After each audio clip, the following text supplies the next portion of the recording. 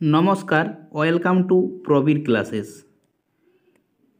আজকের ক্লাসে আমরা আলোচনা করব তোমাদের ছোট্ট একটা কনফিউশন গড় বা এভারেজের অঙ্ক নিয়ে ইনিংসের যে কনফিউশনগুলো রয়েছে।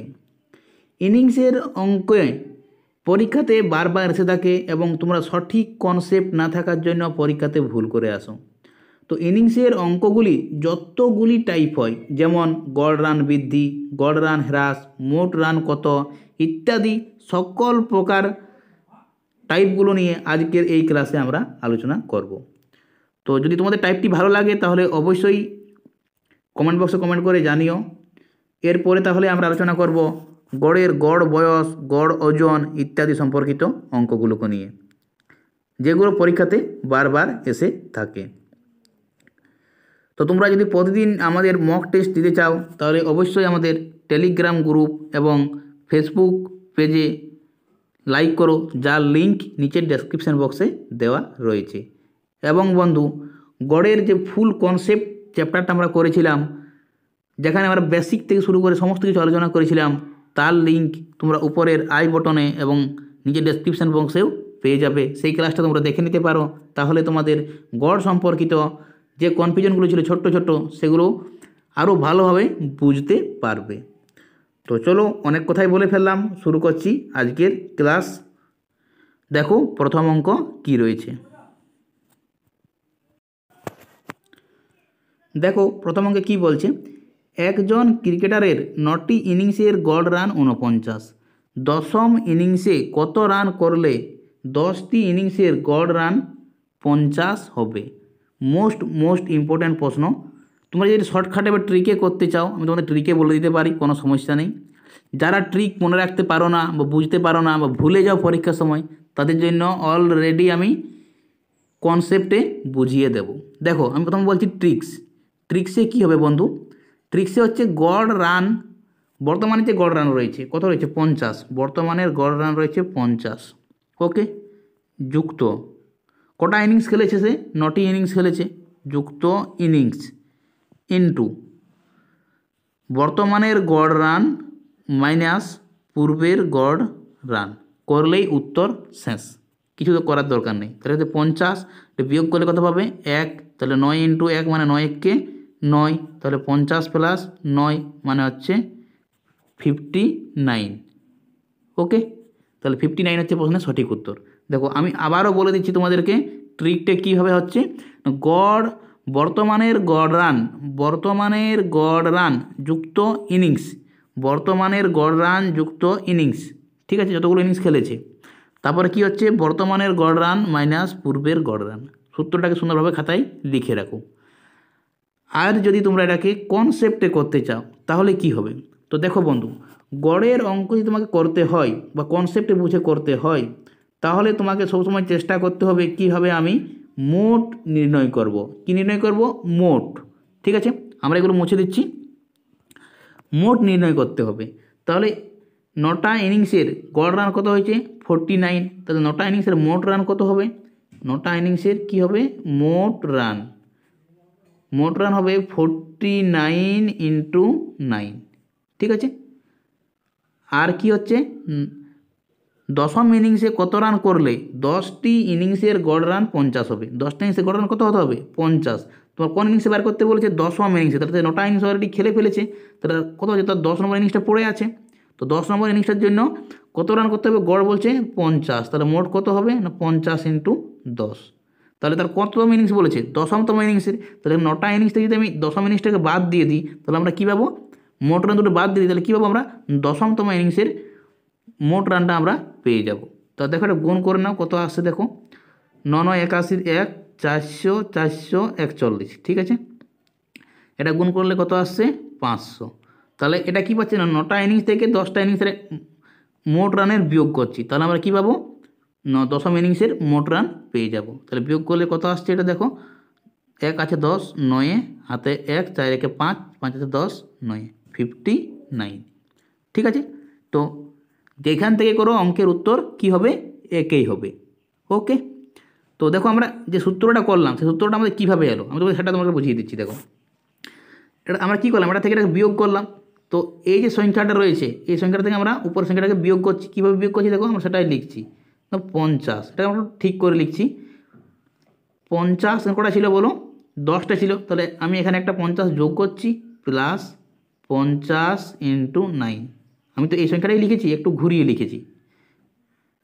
মাইনাস ঊনপঞ্চাশ ইন্টু নাইন। তো দেখো, এরপর তুমি এই জায়গাটাকে দেখো, এই জায়গাটা থেকে দেখো আমরা নয় কমন নিতে পারব? এখানে কটা ছিল? দশটা পঞ্চাশ ছিল। আমি একটা পঞ্চাশ আগে বের করে দিয়েছি, তারপর নটা পঞ্চাশ করেছি। তাহলে আমরা এখান থেকে আমরা একটা পঞ্চাশ অলরেডি বের করে নিতে পারি। তাহলে এখান থেকে আমরা একটা নয়কে আমরা কমন নিয়ে নিতে পারি। তাহলে কি আসছে এখানে? না, পঞ্চাশ মাইনাস ঊনপঞ্চাশ। ওকে? ওকে? তাহলে দেখো আমরা প্রথমে যে সূত্রটা দিয়ে করলাম, সেই সূত্রটা আমাদের এখানে এসে উপস্থিত। সূত্রটাতে কী ছিল বন্ধু? বর্তমানের গড় রান যুক্ত ইনিংস বন্ধনীর মধ্যে কি রয়েছে? বর্তমানের গড় রান মাইনাস পূর্বের গড় রানের পার্থক্য। বাস, হয়ে গেল। কি, কোনো রকম সমস্যা হলো কি বুঝতে বলো? যদি সমস্যা হয়, তাহলে নিচের কমেন্ট বক্সে কমেন্ট করে দিও। চলো দেখো দু নম্বর অঙ্কটিকে। দেখো দু নম্বর প্রশ্নটি। একজন ব্যাটসম্যানের এগারোটি ইনিংসের গড় রান নব্বই। জালিয়াতির অভিযোগে দশমতম ইনিংসের রান বাদ দেওয়ায় তার গড় রান দশ কমে গেল। দশমতম ইনিংসে সে কত রান করেছিল? মোস্ট মোস্ট ইম্পর্ট্যান্ট প্রশ্ন বন্ধু, পরীক্ষাতে বারবার এসে থাকে। ঠিক আছে? তো দেখো কি করব আমরা এটা? না, এগারোটা ইনিংস খেলেছে, জালিয়াতির জন্য একটা ইনিংস বাদ গেছে। মানে কটা? দশটা ইনিংস পরে দেখাচ্ছি। তাহলে এগারোটা ইনিংসের মোট রান কত হবে? না, এগারো ইন্টু নব্বই।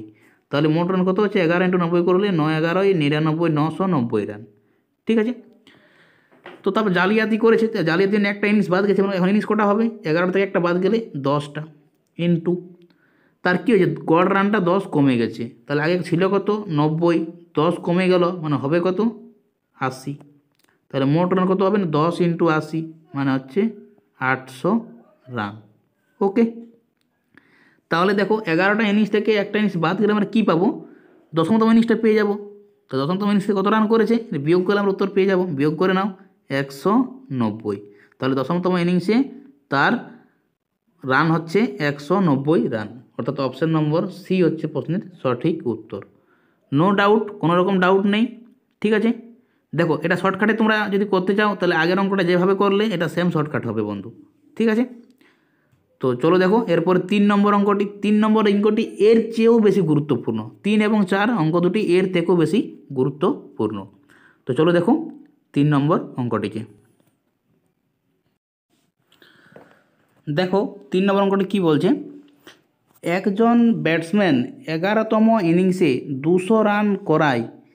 গড় রান পূর্বের থেকে দশ বৃদ্ধি পায়। এগারোতম ইনিংসের পর তার গড় রান কত?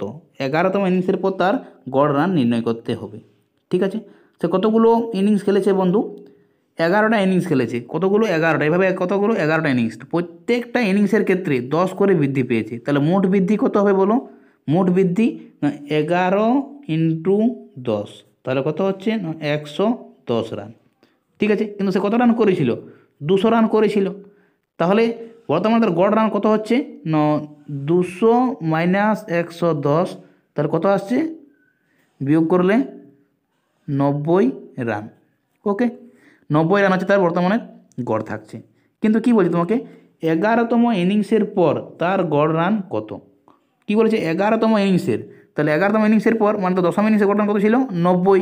তো এখন তার দশ রান আবার বৃদ্ধি পেয়ে গেছে। নব্বই থেকে কী হয়েছে? দশ রান বৃদ্ধি। তাহলে তোমার নব্বই রান আগে ছিল প্লাস আবার দশ রান বৃদ্ধি পেল। তাহলে এগারোতম ইনিংসের পর তার গড় রান কত হয়ে যাবে? নব্বই প্লাস দশ মানে হচ্ছে একশো রান তাহলে কোথায় থাকছে দেখো অপশান নম্বর বি হচ্ছে প্রশ্নের রাইট উত্তর। ঠিক আছে? আশা রাখছি অঙ্কটাকে সম্পূর্ণভাবে বুঝতে পেরেছ এবং অঙ্কটা সম্বন্ধে মজা নিতে পেরেছ। তোমাদের কোনো রকম বুঝতে সমস্যা হয়নি। এটা ট্রিকে করলে কি হবে বন্ধু? ট্রিকে খুব ইজিলি এবং কয়েক সেকেন্ডে উত্তর হয়ে যাবে, কিন্তু ট্রিকটা মনে রাখা জটিল, ঠিক আছে? তো যারা ট্রিক মনে রাখতে পারো, তাদের জন্য আমি বলে দিচ্ছি। তো দেখো কি ট্রিকটা কি হচ্ছে বন্ধু?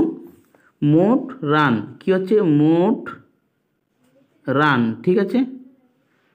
মোট রান মাইনাস ইনিংস মোট রান মাইনাস ইনিংস ইন্টু যে রানটা বৃদ্ধি পেয়েছে, বৃদ্ধি প্লাস যে রানটা বৃদ্ধি পেয়েছে, সেই বৃদ্ধিটা, ঠিক আছে? তাহলে বৃদ্ধি কত পেয়েছে? এখানে দশ পেয়েছে, ইনিংস কটা রয়েছে? এগারোতম ইনিংস রয়েছে এবং মোট রান মোট কত রয়েছে? দুশো। তো মান বসিয়ে দাও, তাহলে এখানে কত হচ্ছে? দুশো মাইনাস ইনিংস ইন্টু বৃদ্ধি। কোনো এগারোটা ইনিংস, দশ দশ করে বৃদ্ধি পেয়েছে। তাহলে বৃদ্ধি কত হলো? এখানে হচ্ছে এগারোটা ইনিংস ইন্টু দশ বৃদ্ধি। গুণ করলে কত? একশো দশ প্লাস বৃদ্ধি। বৃদ্ধি কত রয়েছে? দশ। ঠিক আছে, দশ রান করে বৃদ্ধি পেয়েছে। তাহলে কত হচ্ছে এটা দেখো? সমান করলে দুশো থেকে একশো দশ বিয়োগ করলে কত হচ্ছে? নব্বই। নব্বই প্লাস দশ, নব্বই প্লাস দশ মানে কত হচ্ছে? একশো রান। একশো রান ওকে তাহলে তুমি যে দিক থেকে অঙ্কটা করো না, উত্তর সেম আসবে একশো রান। মানে অপশান নম্বর বি হচ্ছে প্রশ্নের কারেক্ট অ্যান্সার তো চলো দেখো, চার নম্বর অঙ্কটি। যে অঙ্কটি এর থেকেও বেশি গুরুত্বপূর্ণ এবং একটু জটিল হবে আর পরীক্ষাতে অনেকবার এসেছে অঙ্কটা এবং একসঙ্গে আমরা ওখানে দুটো প্রশ্ন ইউজ করব। দেখো ট্রিক মনে রাখলে কি হয় আর ট্রিক না রাখলে, মনে রাখলে কি হয়, তার পার্থক্যটা তোমরা সেখানে বুঝতে পারবে। তো চলো, দেখে নেওয়া যাক। দেখো, চার নম্বর প্রশ্নটি। একজন ব্যাটসম্যান এগারোতম ইনিংসে কুড়ি রান করার ফলে গড় রান দুই কমে যায়। তো প্রথম প্রশ্ন রয়েছে, এক নম্বর প্রশ্ন কি বলছে? বারোতম ইনিংসে গড় রান কত ছিল? আর দু নম্বর প্রশ্ন কী বলছে? বারোতম ইনিংসে কত রান করলে গড় রান দুই বৃদ্ধি পাবে? তো প্রশ্ন একটা, কিন্তু এখান থেকে দু রকমের প্রশ্ন হয়ে থাকে, ঠিক আছে? তো দেখো, এটা আমরা কীভাবে করব? তাহলে কতগুলো ইনিংসে খেলেছে? এগারোটা ইনিংস। এক নম্বর ইনিংস, দুই নম্বর ইনিংস, তিন নম্বর করে কতগুলো খেলেছে? এগারোটা টোটাল ইনিংস খেলেছে।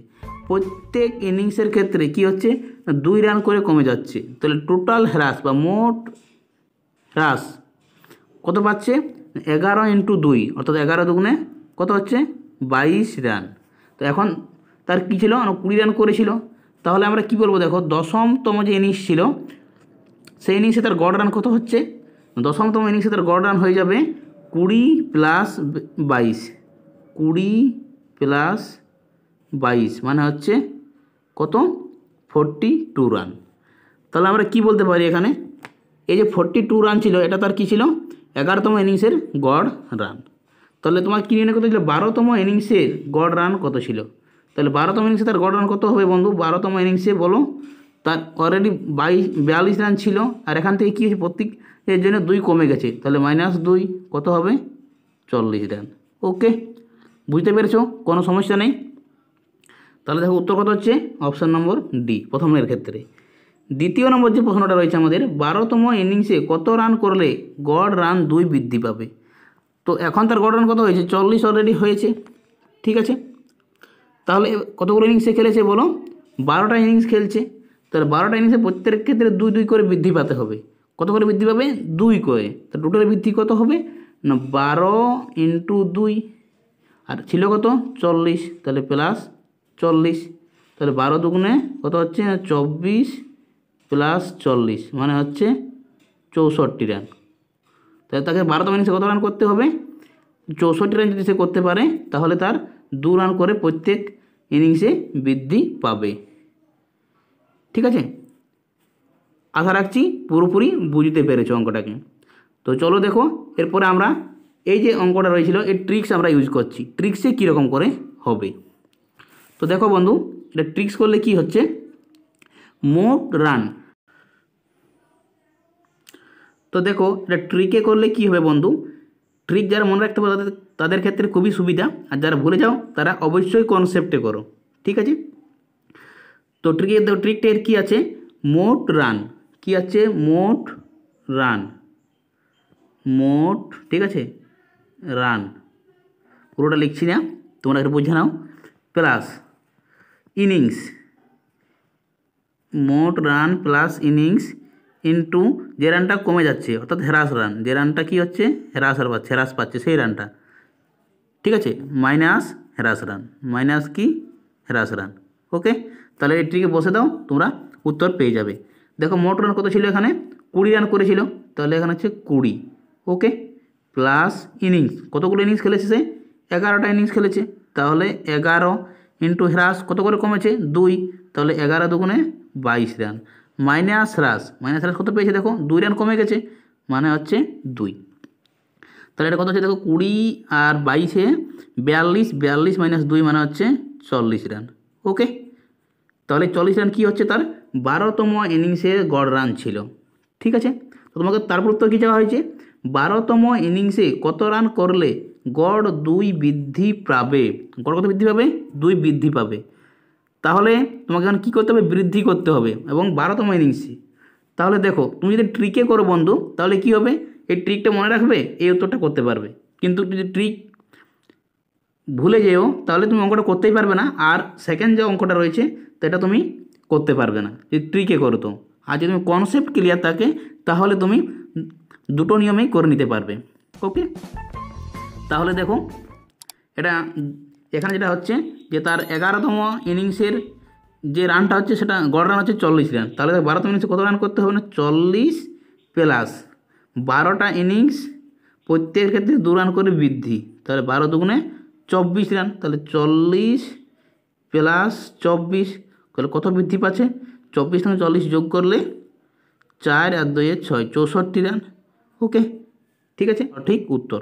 অতএব তুমি যাই শিখো, যেইভাবে ট্রিক শিখো না কেন কনসেপ্টটা কিন্তু তোমাকে বুঝতে হবে।